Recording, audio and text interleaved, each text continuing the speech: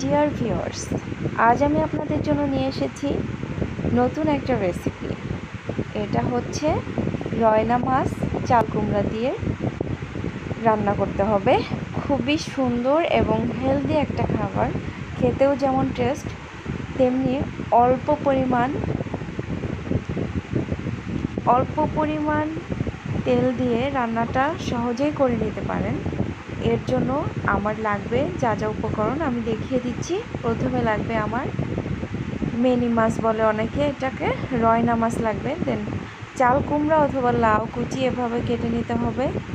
আর লাগছে কাঁচামরিচ চেরা। পরিমাণ মতো দিবেন। ধনে পাতা কুচি।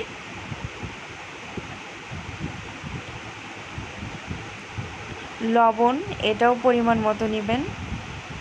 আর কিছু মশলা লাগবে। ধনিয়ার গুঁড়া, জিরা ভেজে বেটে গুঁড়ো করা,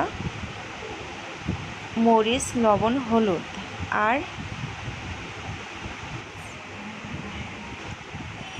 প্রথমেই আমাদের রয়না মাছগুলো হলুদ আর লবণ দিয়ে মাখিয়ে নিতে হবে। দেখতে পাচ্ছেন? মাছগুলা মাখানো হচ্ছে। এটা হলুদ দিবেন এক চামচের মতো আর লবণ এক চামচ দিয়ে সুন্দরভাবে রয়না মাছগুলো এভাবে নেড়ে চেড়ে মাখাবেন। চলে যাচ্ছি রান্নার মূল প্রসেসে প্রথমে কড়াইয়ে সাদা তেল দিয়ে নিতে হবে হাফ কাপ পরিমাণ।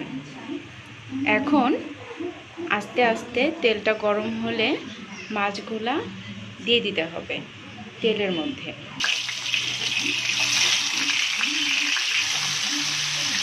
মাছগুলো এভাবে দিয়ে এক মিনিট মতো এই পাশে ভাজতে হবে, আবার উল্টিয়ে দিয়ে আর এক মিনিট ফ্রাই করে নিতে হবে।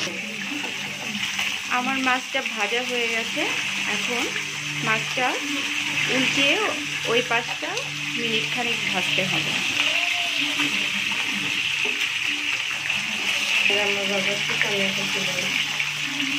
আমার মাছটা ভাজি হয়ে গেছে এখন আমি প্লেটে মাছগুলা তুলে নিব। তেলটা গরমই আছে এর মধ্যে একটু জিরে ফোড়ন দিয়ে দিচ্ছি। জিরেটা জিরেটা ভাজা হয়ে গেছে এখন আমি চাল কুমড়াগুলো দিয়ে দিব।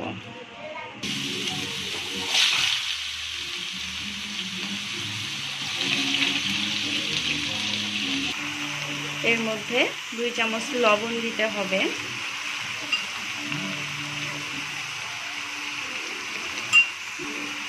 এক চামচ হলুদ গুঁড়ো।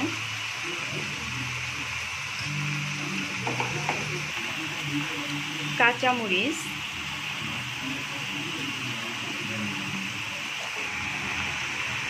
ধনিয়ার গুঁড়া এক চামচ।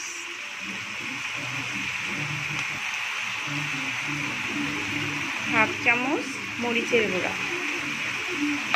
এভাবে দিয়ে এখন আস্তে আস্তে নাড়তে হবে।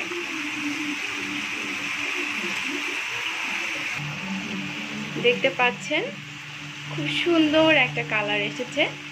এভাবে যখন চাল কুমড়াগুলা কমে আসবে তেলটা উপরে উঠে এসেছে দেখতে পাচ্ছেন। এখন এই মোমেন্টে আমাদেরকে পরিমাণ মতো পানি ঢেলে দিতে হবে। পানির পরিমাণটা একটু কম দিবেন, কারণ চাল কুমড়াটা একটু মাখা মাখা হবে আর সহজেই পানিটা কমবে না। যার জন্য পানি একটু পরিমাণে কম দিবেন। এখন একটু হালকা নেড়ে চেড়ে দিন।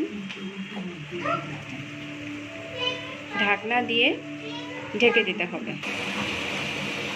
ঢাকনা দিয়ে ঢেকে দিতে হবে। এভাবে ছয় মিনিটের মতো সবজিটা সিদ্ধ হতে হবে। সবজি সিদ্ধ হলে তখন আমরা ভেজে দেখতে পাচ্ছেন পানিটা কমে এসেছে। এখন খুন্তি দিয়ে আস্তে আস্তে একটু নেড়ে চেড়ে দিতে হবে যেন চাল কুমড়োটা একটু মাখা মাখা হয়ে আসে। এখন ভেজে রাখা মাছগুলা আস্তে আস্তে দিয়ে দিতে হবে।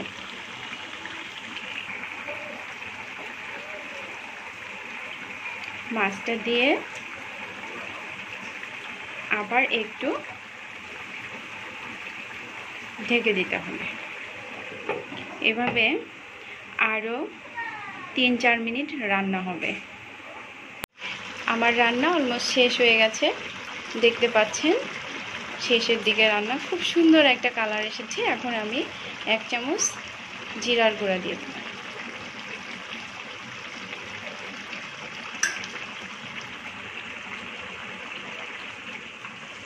হালকা নেড়ে চেড়ে দিব মাছগুলো। এখন আগের থেকে কেটে রাখা ধনিয়ার পাতা কুচি উপর দিয়ে ছড়িয়ে দিই। আমি